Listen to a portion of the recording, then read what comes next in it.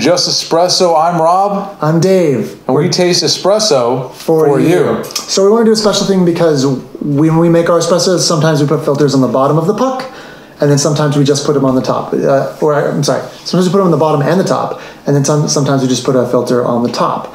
Um, and with these particular coffees, we made different recipes. Rob has a recipe for more darker roasts, and we use my recipe, which is more like Scott Rao's recipe for the lighter roasts.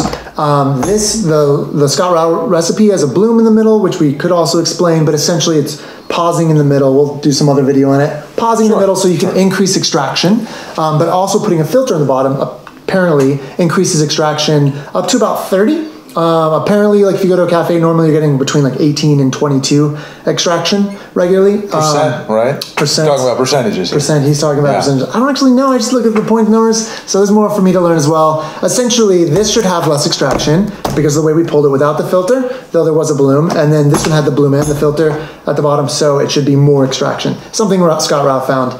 Um, and so when you hear us talk about these different recipes, it's one of the things. If you are doing a more traditional Sicilian style espresso, um, you might consider not having a filter at the bottom.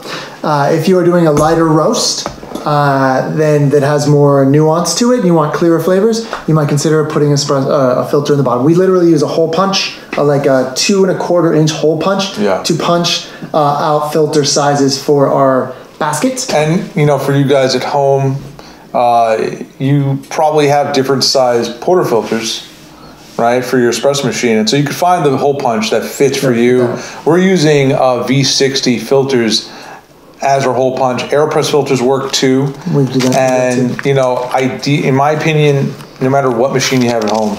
At the very least, you should be putting the filter on top. It really helps to even out the water hitting the puck, m- minimizing channel, and really helping make your coffee, t- and also helping your machine stay cleaner as well. So, Number one, Yeah. I think the number one thing that's definitely working for us is the cleanliness of the machine. Uh, it keeps coffee grounds from getting into that grate right ab- above it. And so when you pull it out, like the puck, first of all, the pu- puck comes out beautifully.